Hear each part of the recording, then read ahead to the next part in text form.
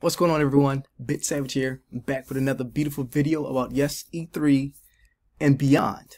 Uh, I'm very excited and ready for all the games that were there. I'm not even, you know, a hardcore regular gamer. I'm a crypto gamer. no, but uh, you know, I test out a lot of crypto and blockchain games right now. Very, very excited and bullish about that uh, technology and what's to come. But I got to attend E3 thanks to, you know, all of the, I won't say the Enjin community, the blockchain community, um, just being in the space for the past two, almost three years now.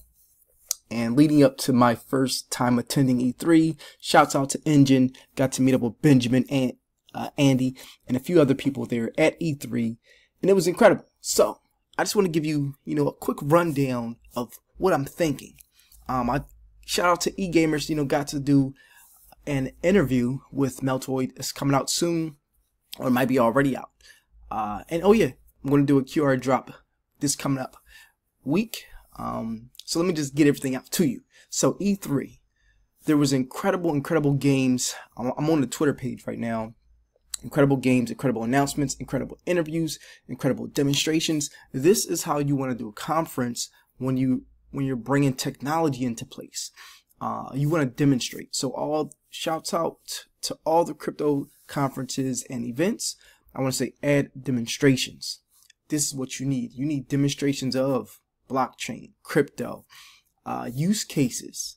If you have an incredible platform, a credible team, show different use cases of what you can do with your technology. All right, so E3. Scroll down here, you see Fortnite. Yeah, they had a huge booth. They probably spent a million dollars. These booths were incredible. Um, it was like full-on concerts at the major booths, uh, and a very good experience. You know, for the players, for the gamers. You had a bunch of e. So I want to talk about esports a little bit too. Yes, you can make a living off of esports playing games. Can you do that in blockchain? Possibly when the games are ready. Now, I will say that there needs to be a league formed in crypto esports. Uh, there's a few games that's almost ready, so who's gonna do that? I may do it. you know, just start up a crypto esports. Now, Elon Musk was in the building. I don't know if I found out after he left or someone said, "Yeah, I just got a hat signed by Elon Musk. I'm gonna go sell on eBay." It's like cool. You know, Elon's he's got a car. He got a game in his car. You can use a Tesla steering wheel uh, steering wheel and race and Tesla. It's a game in the car. Uh, so I'm just, oh, the Unreal Garden. So there's a big uh, shift or there's a big acceptance of VR and AR, virtual reality and augmented reality. And obviously in that space, we're still new. So no one knows what's going to be the standard. Well, it looks like the body suits, you know, the haptic body suits, the VR headsets. They're, they're still big, uh, but you they, they cannot be as bulky. You know, they want to be sleek, want to be sexy. My partner over at uh, Integrated Gaming Future Card you know, definitely want to have some slots to play and bet against players. It's just we're moving in a good space, a good direction. So you don't. There may be glasses, there may be uh, headsets, body feedback, haptic body feedback. It's going to evolve and morph and there's some leaders that's coming out in the space for AR and VR. Oculus is definitely has a wide store open. They don't know who's going to be the lead runner. So, uh, yeah, Nintendo had a huge presence there. They're like, yeah, we're bringing back this, we're doing this, doing that. Sega Genesis doing some cool things. Yeah, I'm just scrolling right now, just kind of recapping, and refreshing my memories. Um, so a little bit more about, you know, Enjin and even other projects I'm with in crypto. So like Enjin, you can mint tokens, you can mint items, use them in a multiverse. Uh, if you're new, if you're in the E3 space and you're new to blockchain or crypto uh, arena, let me explain a little bit for you. So you can look up Enjin yourself, you know, check out what Enjin's into. Now, Enjin Coin and Enjin Crypto, they've created a multiverse to where you can have these game items playable in all the games that allow them to be playable. So right now, I think about 20 to 30 games accepted these multiverse items. So I can go get a sword to this game and use it in 20 other games. That's, that's good for gaming. It's good for business too. if you have a coupon at one business, and you can use it at 30 other businesses. It's incredible. So it's a good concept. It's a good foundation. A lot of people can adopt this, you know, concept. And, you know, so Enjin's doing good on that part. And it'll, it'll definitely be great to expand. Say, okay, you're starting an engine, but let's start working together. You know, let's start bringing minds together, build this mastermind. You know, you don't want to be a, a central position just locking all the power. Uh, so, oh, also Rhovit, you know, Rhovit, they have a platform for creators and the audience to get rewarded in their token. They're creating NFTs and they have a cool idea for a game as well. So they're they're rolling out in stages and they're going to partner with a gaming company.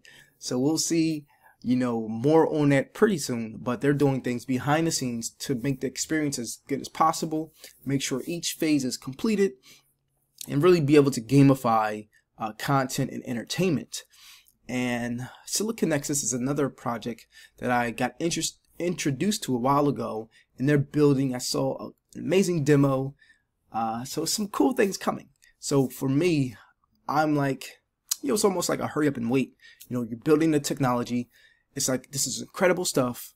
Let's start demonstrating it. So for me, I'm looking to curate a monthly event, you know, or quarterly event here in LA definitely want to go virtual, invite people out, and do giveaways, do uh, competitions, get that esport popping. So it may be called the dream state. We'll see. Um, and a, more so for me, I'm actually going to mint my experience. I'm to mint the uh. I'm to mint a few story cards from my experience at E3 and I got I got to stand in line and get two autograph posters, you know, physical NFTs or physical fungible items, non-fungible items. And those posters, I'm going to mint them into a story card and make them digital. And I have physical and just show the use case, you know, demonstrate the use case of non-fungible tokens, uh, digital assets, digital items. And my whole goal for everyone to see, clearly envision and embody that yes, you have your physical items, but you can build up an inventory of digital items. You know, if, say if you have 10,000 digital items, game items, crypt art, and I got my art. I got a lot of art. uh, got your crypt art, you got business cards, you got coupons, tickets. You could sell them. You know, just say, okay, I want to sell all of this my wallet and wake up to some good, uh, some good income. Uh, selling, and the cool thing about digital products you just keep them online. You don't you don't need a warehouse. You don't need an Amazon warehouse, an eBay warehouse, or whatever. All right, so back to E3, monologuing a little bit. Uh, there was a ton of stuff happening, so I, I couldn't get to it all. I went the first day, went to the West Hall. It was overwhelming. Uh, Tuesday went a little bit, then Wednesday went to the South Hall. Still a lot, and there was still more going on. You know, there was let me see if we can scroll down here. Oh, Cyberpunk. Let me. So here's the thing. I've played a lot of cool games in my time, and there's even better games coming out. Uh, when you see things like Cyberpunk, you got Keanu Reeves as the the key to immortality 2077.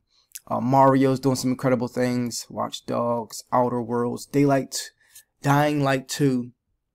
Uh, these games, they're just you know, they're they're raising the bar. You know, they're they're doing some incredible stuff. Star Wars Jedi Fallen Order. And so these these are games, these are I call them regular games. well, these are games where you can fund. You buy them to be entertained. And that's what people do. I still see people playing Candy Crush and they spend money on Candy Crush because guess what?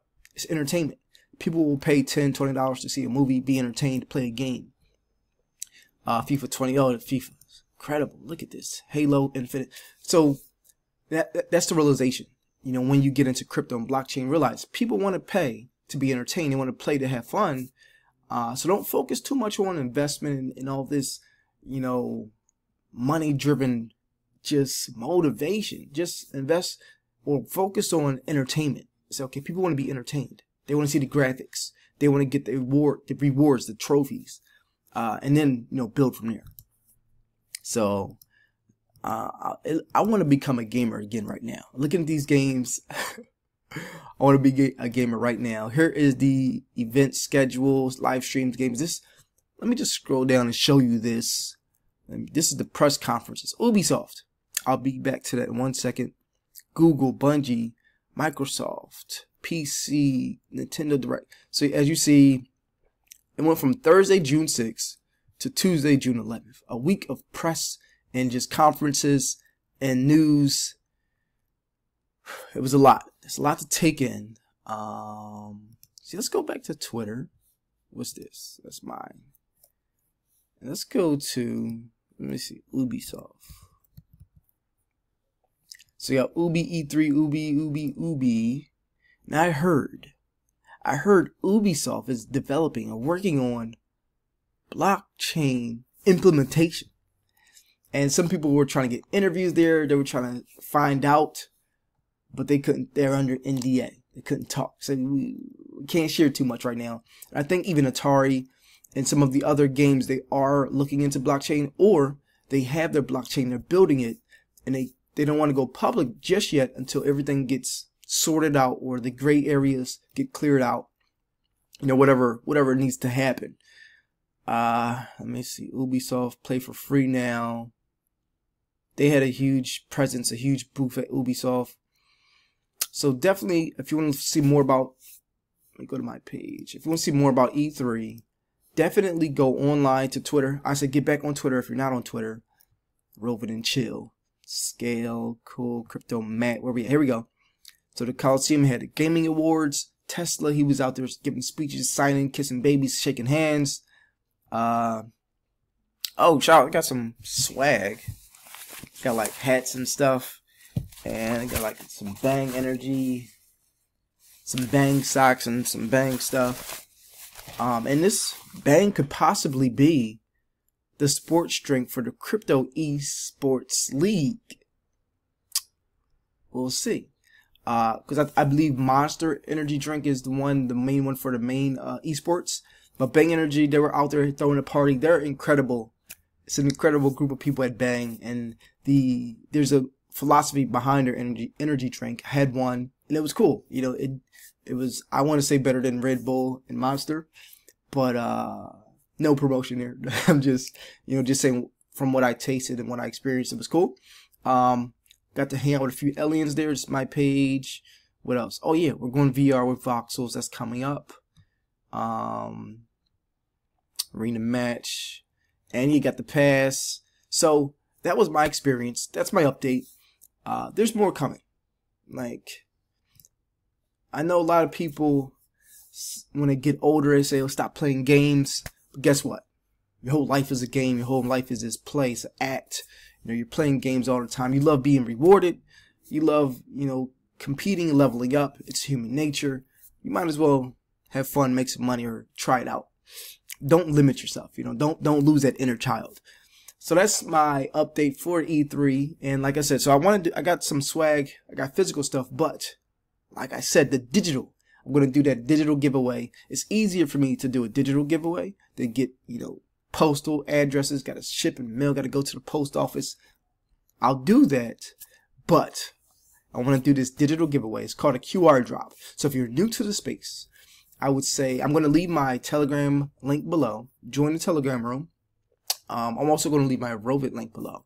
So I'm going to know if you use my links for Rhovit because I can see who comes under the account. I'll see you join. Say what's up if you join. If you're new to the Telegram, say what's up.